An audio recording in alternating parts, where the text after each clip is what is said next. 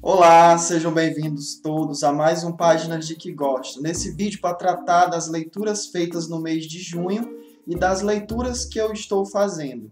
Mas antes de começar, é, eu queria mostrar aqui uma caneca que eu ganhei do grupo de leitura do qual eu faço parte, lá da cidade de Riutaba, no Ceará.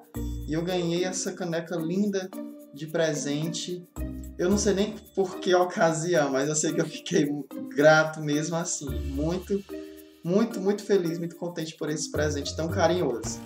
No mês de junho é um mês atípico, né? Porque Copa do Mundo, querendo ou não, acaba interferindo no dia a dia da gente. Eu estou dando muita aula praticamente todos os dias à noite por conta da, dessa Copa.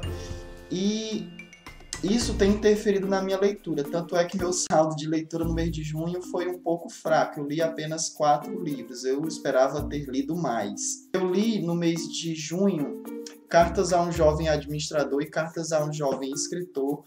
Eu deixei vídeo aqui no canal, eu vou postar o link aqui na tela, ou aqui, aqui na tela, ou aqui embaixo vai aparecer o link para conferir o vídeo no qual eu estou resenhando esses dois livros. O Cartas a um Jovem Administrador, não estou com ele aqui porque logo após o vídeo alguém esteve interessado, uma colega administradora pediu para ler e eu emprestei.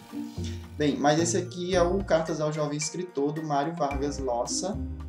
Livro incrível, surpreendente. Recomendo para quem não é só escritor, mas para quem é leitor principalmente. No mês de junho, eu li. É, os outros dois livros que eu li fazem parte de uma mesma saga, que são As Brumas de Avalon. Eu li é, o volume 1, A Senhora da Magia, e eu li também o volume 2, é, A Grande Rainha. Não vou fazer tecer ainda qualquer comentário sobre essa história, porque eu tenho que postar um vídeo só sobre esses livros. Mas é surpreendente, incrível, estou amando conhecer essa história tão recomendada por alguns colegas e, e vlogueiros de outros canais. Comecei a ler o terceiro volume da saga, que é O Gamo Rei. O quarto volume se chama O Prisioneiro da Árvore. Brevemente eu estarei fazendo um vídeo sobre esses quatro livros que são simplesmente incríveis, incríveis. Mas antes de eu postar um vídeo sobre essa história, eu vou estar postando um, livro, um vídeo sobre outro vídeo que eu estou lendo também, que é A Cabeça do Santo, da Socorro Acioli, que é uma escritora cearense e que é discípula do Gabriel Garcia Marques. Então, eu espero boas coisas desse livro. Eu comecei a lê-lo e está parecendo assim bem interessante mesmo, porque traz um pouco da nossa realidade nordestina, cearense. Muito bom, muito bom. É, ainda sobre o meu saldo de leituras, aquele outro projeto de outro blog no qual eu estou tratando das minhas impressões sobre a leitura dos livros sagrados, só para relatar aqui brevemente o meu saldo de leitura da Bíblia Sagrada, eu li os primeiros quatro livros, eu estou no quinto. Então, se você conferir lá no blog, eu vou postar aqui também na tela ou embaixo a descrição, o link para o blog. Nele, eu li, eu postei impressões sobre Gênesis, Êxodo, Levítico e Números. Eu estou lendo atualmente Deuteronômio são nomes assim bem diferentes, né? Mas que ao mesmo tempo têm um sentido muito particular. Eu não, não conhecia a Bíblia através da minha própria leitura, só conhecia através das impressões de outras pessoas e que alguns outros sacerdotes de outras religiões pregavam. Mas bem, lendo, acessando o blog, você vai conhecer bem qual é o propósito desta leitura. Mas assim que eu concluí é, é, assim que eu concluí a saga das Brumas de Avalon, assim que eu concluí a leitura desses quatro livros, tem um livro que eu estou ansioso para começar a ler. Eu não sei como é que eu vou fazer postagem desse livro, porque é um livro excepcionalmente longo.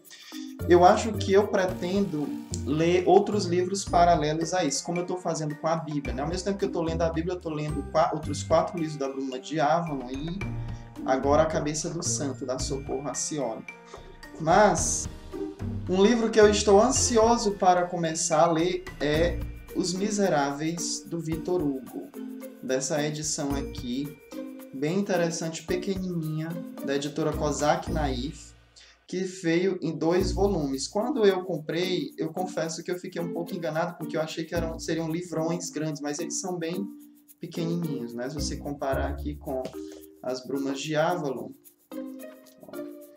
eles são bem pequenos e, portanto, bem densos e a fonte também é bem pequena. Mas eu vou ler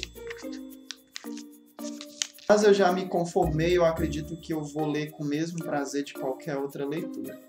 Bem, é, vou ter que ler esse livro paralelo às outras leituras porque ele tem aproximadamente duas mil páginas. Então vai, eu vou levar um tempinho para terminar de ler esse livro aqui.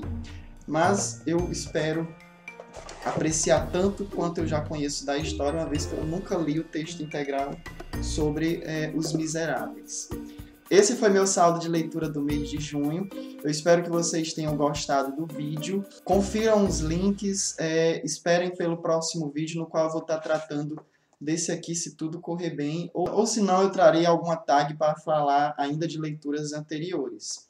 Se você gostou do vídeo, dê um like, compartilhe o vídeo, se inscreva no meu canal. Tudo isso vai ajudar a divulgá-lo. Até mais!